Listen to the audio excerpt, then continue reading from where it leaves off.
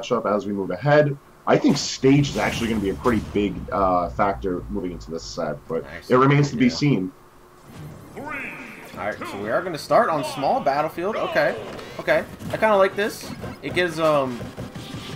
Uh, it, it, it gives Sephiroth a little bit of a smaller distance to start with, but it also gives like like a like a pretty decent layout for Mega Man to work with to keep him out as well. Pretty high interaction stage though, so I don't know uh, I don't know how, how well it's going to work out for our Sephiroth player here, but we shall see.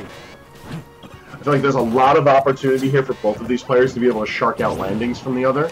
Oh, so netting stage control is actually going to reward in a big way here. So trying to win out this first bout, it looks like it's going to go into Mega Man's favor, but this is where I feel like the one wing is going to really shine as a defensive comeback mechanic. Mhm, absolutely. In this situation specifically, absolutely. I definitely think think in this position, like with the ability to getting an extra jump to move around uh, Mega Man's pressure, or ju- just uh, generally having the um, speed, uh, will definitely help uh, uh, help Sephiroth in here. But he is going to just just eat, eat the force smash and lose that stock. So now he's just got to start from square one again.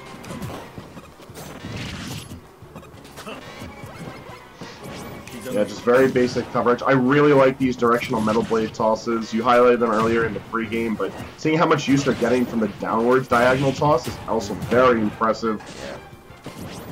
Pretty, pretty good uh, non-committal landing option. Yeah, I do agree.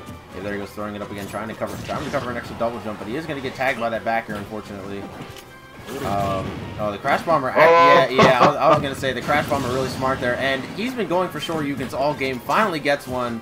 Um, hope he slows down with them a little bit because they are very punishable if uh, JayC catches on to them. Um, very big punishes could be in order, but thankfully for Pete Bro, it does not matter in this game specifically because he is currently up two stocks.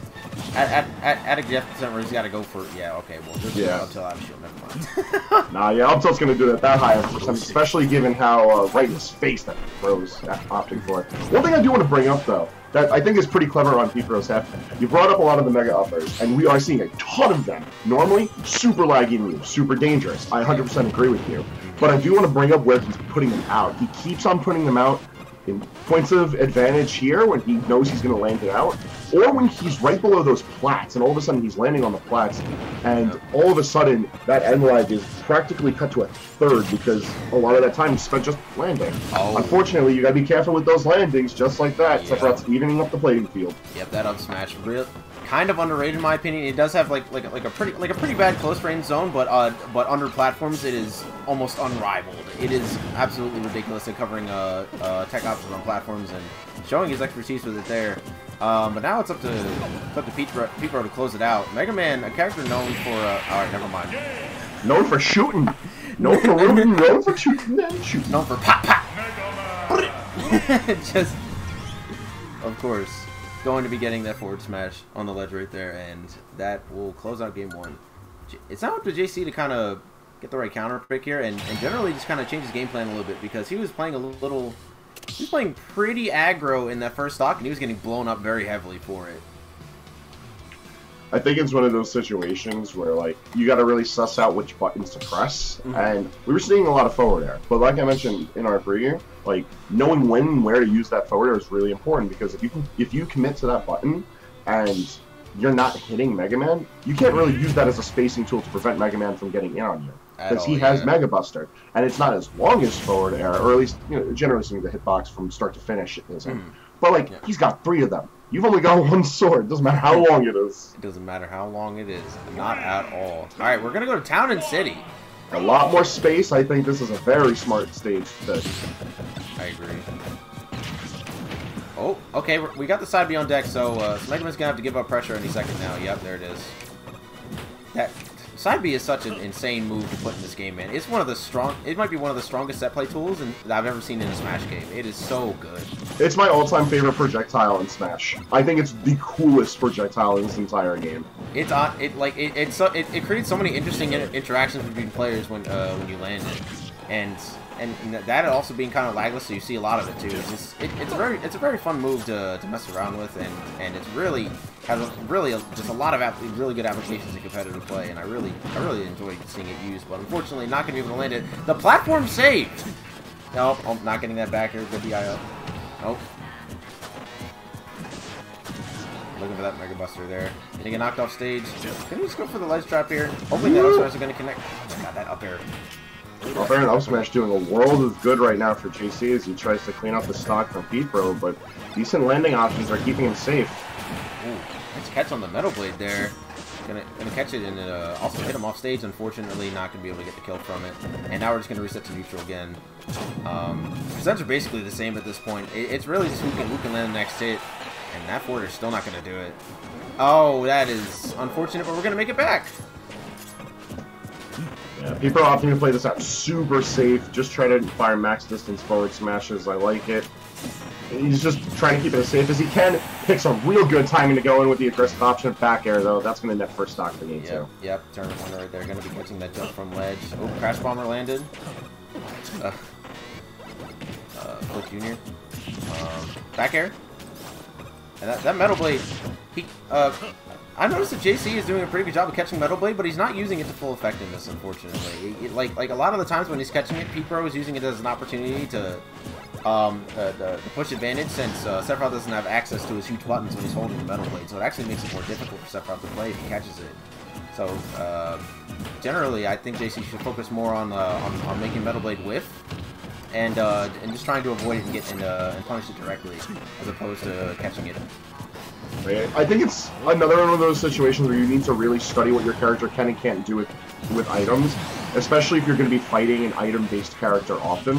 Sephiroth doesn't have an especially good item toss, and if you don't really know what to do with Metal Blade, and if you're not confident with being able to Z-drop it and then use your aerials often so that you lock it away from Mega Man and keep your buttons, at that point, chuck it in the air. Z-drop it off stage. Do whatever you can to make sure that Pro doesn't it.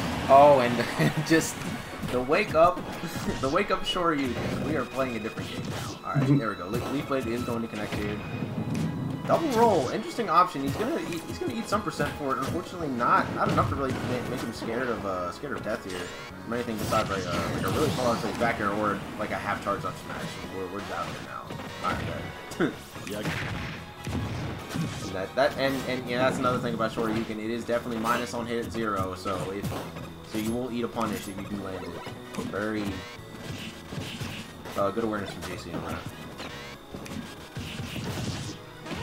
a lot of use of Leaf Shield here, and I'm not gonna lie, I kind of like it. It kind of nullifies the effectiveness of Sephiroth's neutral air, which I feel is the button that really gets a lot of things going for this character if you can't use Shadow Flare to lock down your opponent.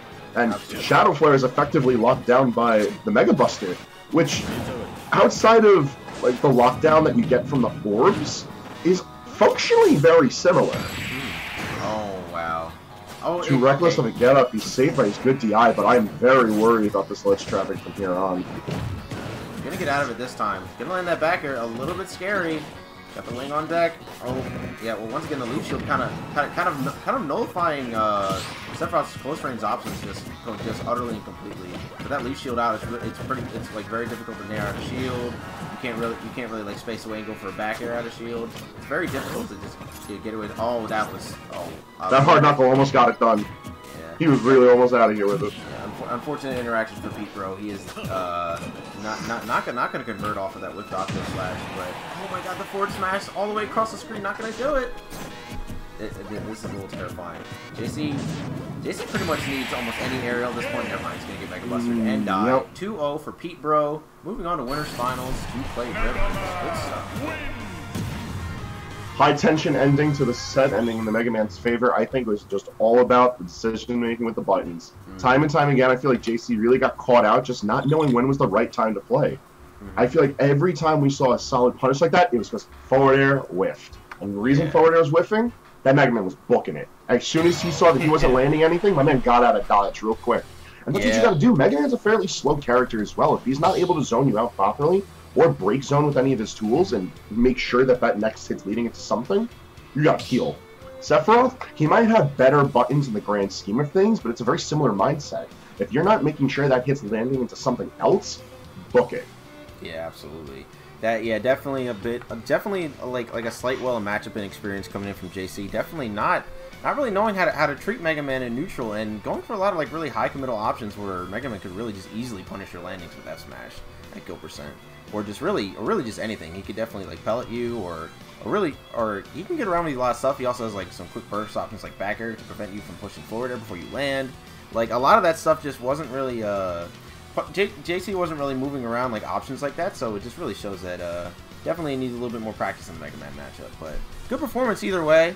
Um, he is going to be moving down to losers uh, losers quarter, so he's not at it, uh, not not done here yet. Um, so so